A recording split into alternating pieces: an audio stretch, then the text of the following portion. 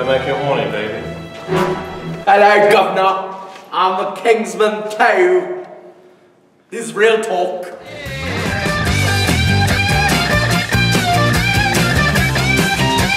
Hello, welcome to Reel Talk, and today we're going to be talking about Kingsman, the Secret Service. Pull the hook on your left. Oh, yes. Very nice. What does this do? Electrocute you? Don't be ridiculous. It's a hand grenade. Shut up.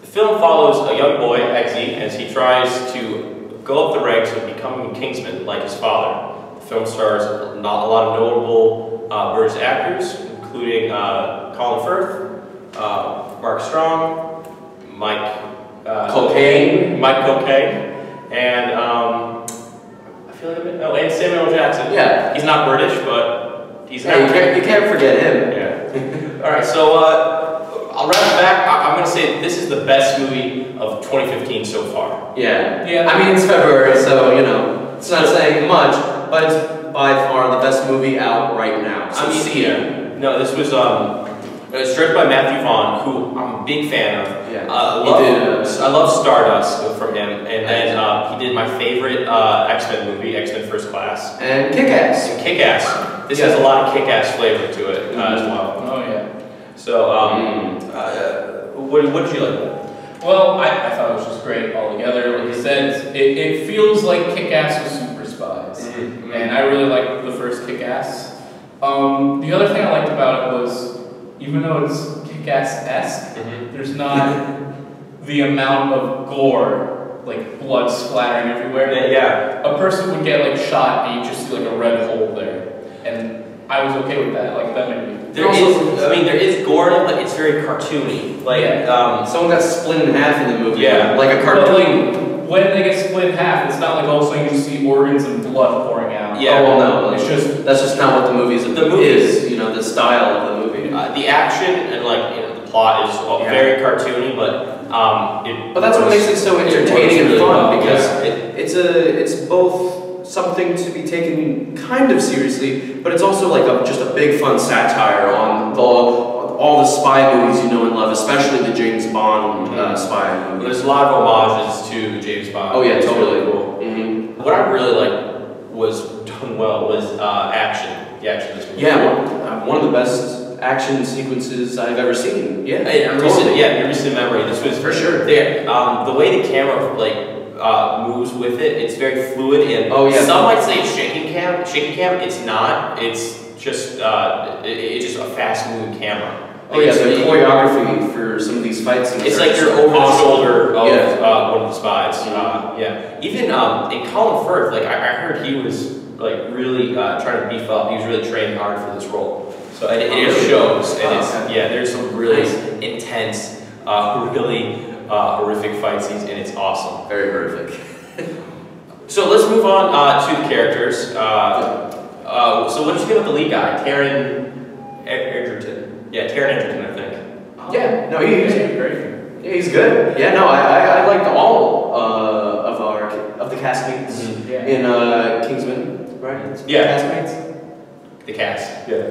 Uh, he The was castmates. he was a um, That's that's Australian. Yeah, his role is very challenging because he kind of plays like the street punk, Yeah. you know, who's like kind of a, uh, like a little social deviant, or Yeah, whatever. kind of a little punk. Yeah, but- you know has an arc, you know, in the movie. But he never comes across as whiny or like, Unlikable. unlikable. He's very, very. yeah, and he has a reason for being kind of a punk on the streets. Yeah, you know, exactly. unfortunately, you know, he, yeah, he's um, you know, we won't get into too much of that. Right. Yeah, we don't want to spoil too much. But it was a um, uh, yeah, uh, he, he was good. Um, Colin Firth, awesome. That was great.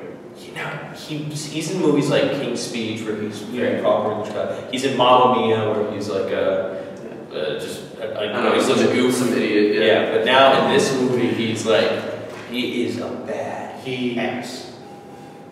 Badass. Yep. He is badass. He is like, no, he's kicking ass and taking names. Um, like you actually, but it- what's so cool about his character is that he looks like a regular English guy. Like Oh, he yeah. look- and it, it works so well because like I'm really tired of like the old like Daniel Craig. I love him as Bond, but like you can tell this guy looks like he's a fighter. You know, Yeah, like- like he looks like oh he's been in fights. But, you know- Colin Firth looks like your uh, granddad. class. Yeah, His class is just like, yeah. I like- will hit you initiate if I have to.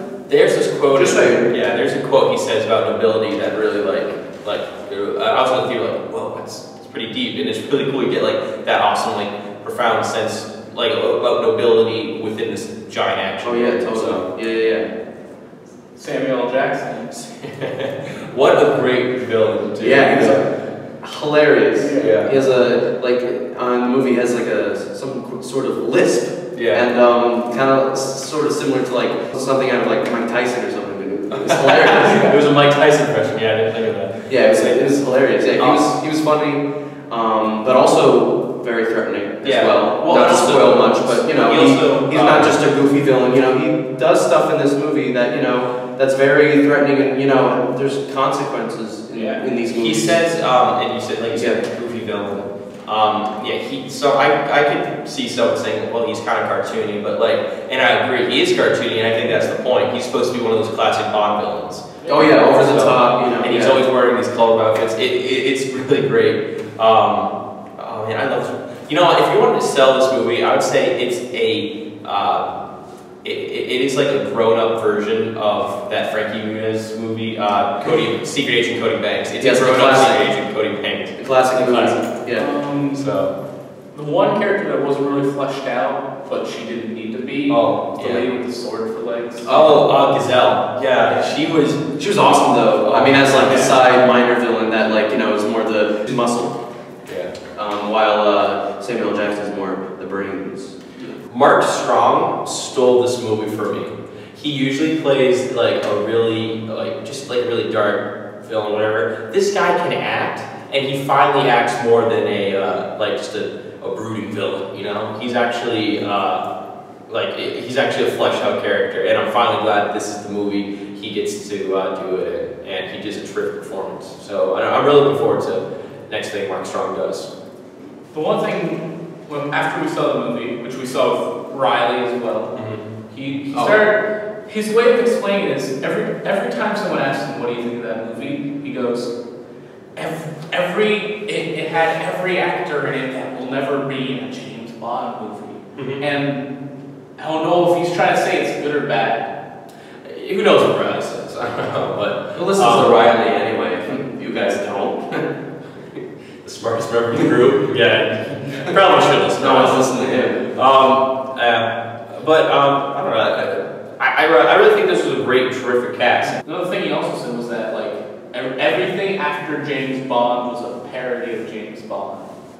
Yeah. I don't fully agree. Okay. Yeah. This is another question for you guys. After seeing the movie, do you think um, it's a parody or an homage? Uh, honestly, like um, For me, it's an homage. it's, I, I think we all Yeah. agree it's an homage. It's not like an Austin Powers movie where it's like really like a, a spoof No, parody movie, like you know, yeah. Because this is its own thing. It has its Yeah. own. It's has its own universe. It's Yeah, had, it yeah, has it its has, own, its own- it like- has stakes. Austin Powers was just pretty much. It's just fun, you know, a goofy, A goofy movie, yeah. I, I, well, not a goofy movie.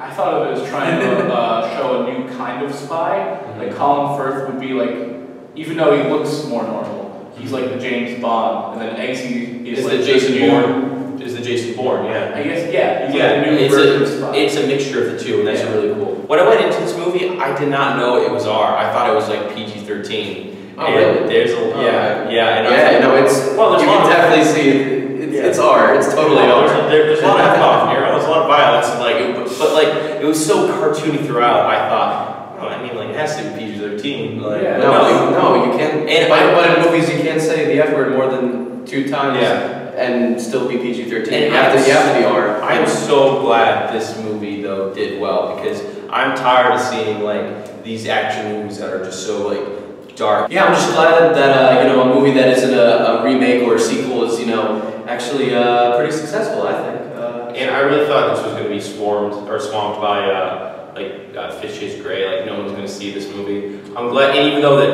uh, Fifty Shades made was number one Yeah. box office. Yeah, I'm, I'm still glad that uh, Yeah. this did Yeah. well, and I'm really looking forward to a sequel. Yeah, I hope uh, it actually turns into a franchise. Hopefully. Yeah. I mean, I mean, if it doesn't, it doesn't. But it'd be kind of cool if we actually see more of these movies. I, I walked out of the theater like with a sense of like, like really fun and like I can punch through a wall. I tried, but No, it doesn't work. It doesn't work. Okay, moving on. Stone wall. Ow. really hope the joke was worth the pain you feel. You want to kiss? Hey, um, so all in all, what do you want to rate this movie? I want to rate it a 9 out of 10.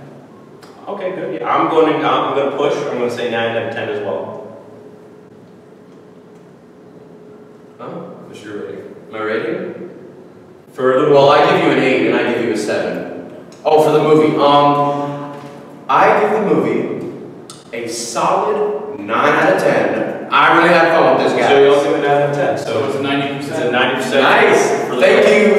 Kingsman. Thank you, cast and crew, for making such an awesome movie in February. Yeah.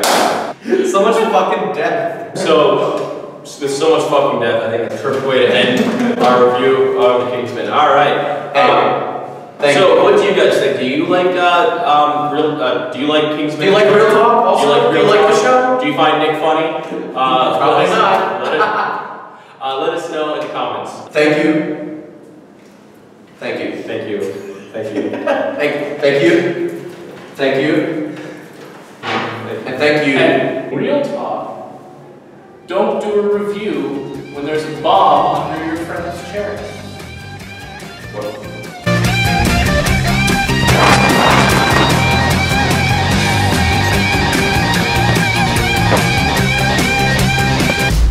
And what about them? What makes them so special? Put it back.